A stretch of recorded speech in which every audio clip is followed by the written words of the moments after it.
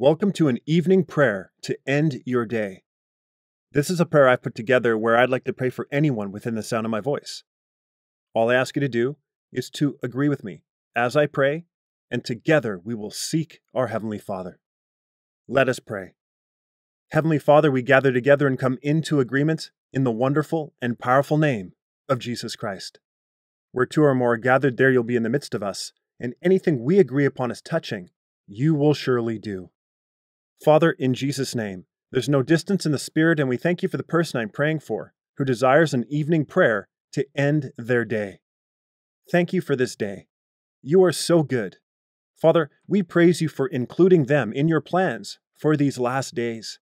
Thank you for choosing them for the destiny you have in store. Praise your holy name. Tomorrow is another day to walk out your plan for them. As they get ready to sleep, Please show them if there's any deficiency in their faith.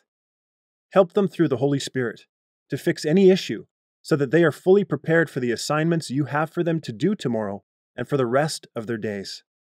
We speak over them that their faith is strong in you, Lord, in Jesus' name. They're ready and able to take on the tasks you have for them tomorrow. Fear and doubt are falling by the wayside since they are filled with faith. Their faith is exceedingly growing and ready to be used. We praise you for your wonder working power. Who is like you? None can compare. Thank you that your power through the Holy Spirit is available to the person I'm praying for whenever they need it throughout their day.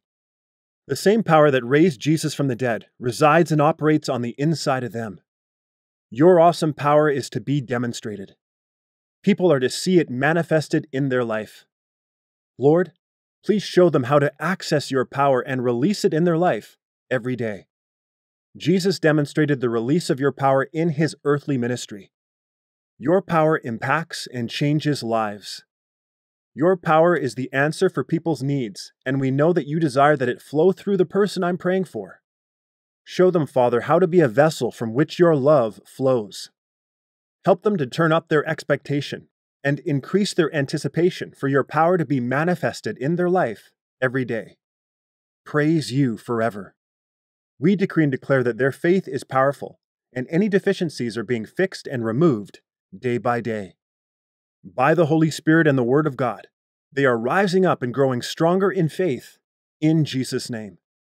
We decree and declare that your abundant power flows through them.